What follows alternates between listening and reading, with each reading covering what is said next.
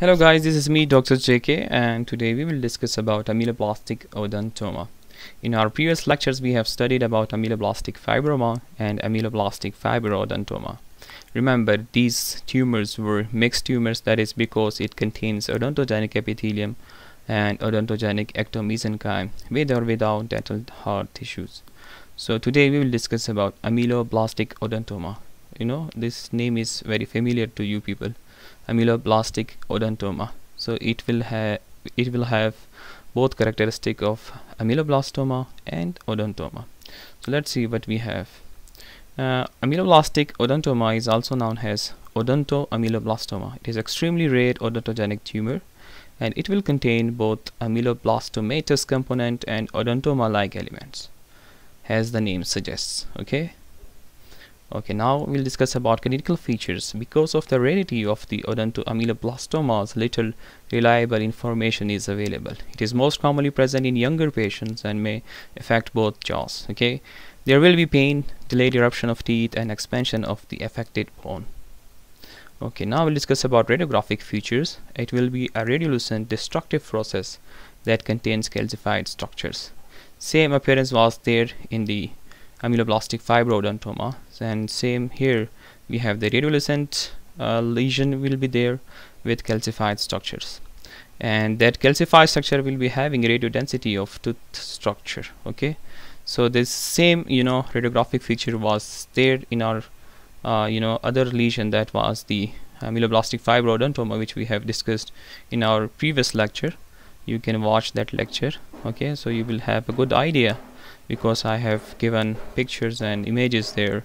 So you can check that lecture okay?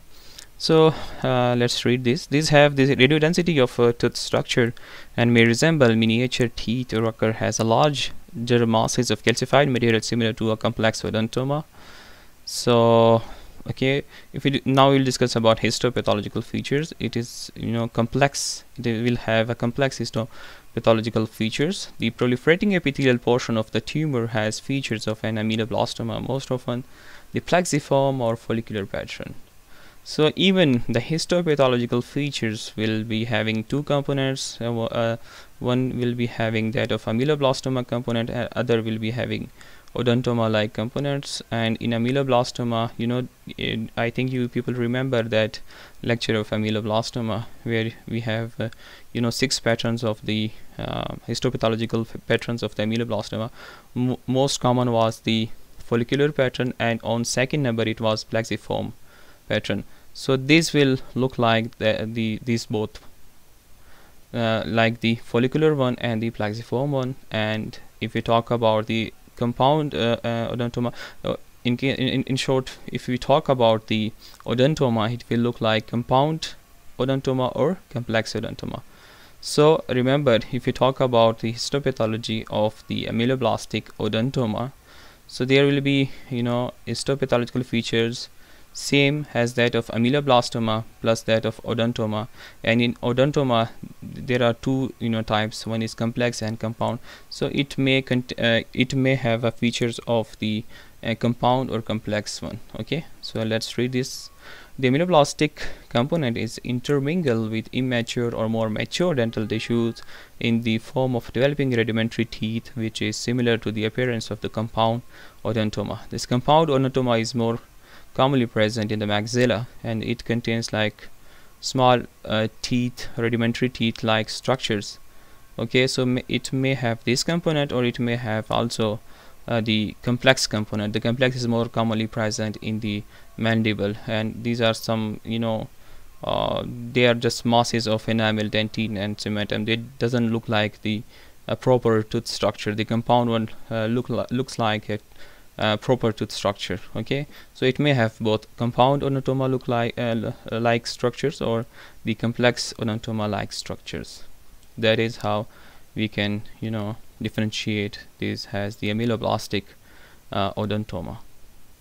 Okay now we'll discuss about treatment and prognosis. Uh, you know there are multiple recurrences after local curettage and it appears that this tumor has the same biological potential as the ameloblastoma so same so now uh, you know after all the uh, you know discussion on the behavior and the you know different features so uh, we can easily you know understand that it, it has the same potential as that of the ameloblastoma and we should treat these as ameloblastoma similar like ameloblastoma the better thing will be resection has done for the ameloblastoma because there are multiple chances of recurrences if we do curettage and enucleation stuff. So we will need a similar treatment like ameloblastoma which was resection. That is a better better choice of treatment okay?